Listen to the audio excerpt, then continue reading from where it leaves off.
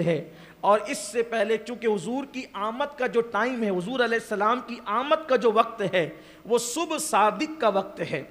और सुबह सादिक के वक्त में भी हमत ये है, वैसे तो रात और दिन दोनों हाथ जोड़े खड़े थे कि मौला तेरा महबूब मुझमें आए, ताकि शरफ मुझे नसीब हो जाए।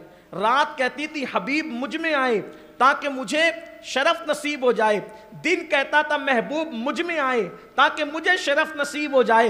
कुदरत के नकीब ने ऐलान किया, हम मांगने वालों को महरूम नहीं करते।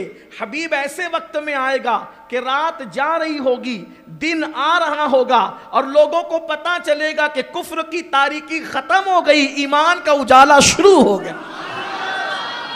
इमाम कहते जिस सुहानी घड़ी चमका तैबा का चाँद, जिस सुहानी घड़ी चमका तैबा का चाँद, उस दिल अफरोज सात पे लाखों सलाम।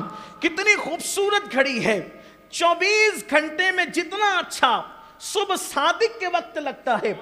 उतना अच्छा कभी नहीं लगता। गम, बीमारों को भी सबसे अच्छा सुबह सादिक के वक्त लगता है। तंदुरुस्त को भी सबसे अच्छा वक्त सुबह सादिक का लगता है। डॉक्टर भी कहते हैं, अगर सेहत पाना है तो सुबह उठो और पैदल चलो। सुबह क्यों उठे?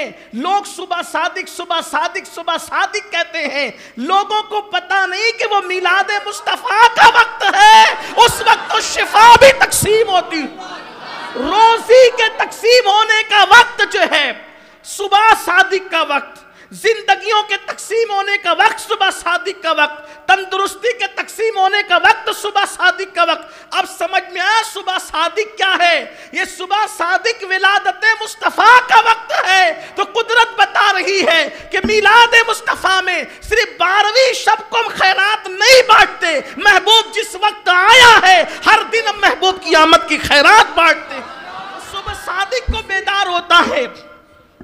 जो सुबह सादिक को बेदार होता है, अल्लाह अकबर, वो बीमार नहीं पड़ता। जो सुबह सादिक को बेदार रहता है, उसकी रोजी में कभी तंगी नहीं होती। जो सुबह सादिक को बेदार रहता है, वो तंदुरुस्त रहता है। जो सुबह सादिक को बेदार रहता है, उसका चेहरा मुनवर रहता है। जो सुबह सादिक को बेदार रहता है, उसका चेहरा चमकदार रहता है। ये सारी फजीलतें सुबह सादिक की क्यों है?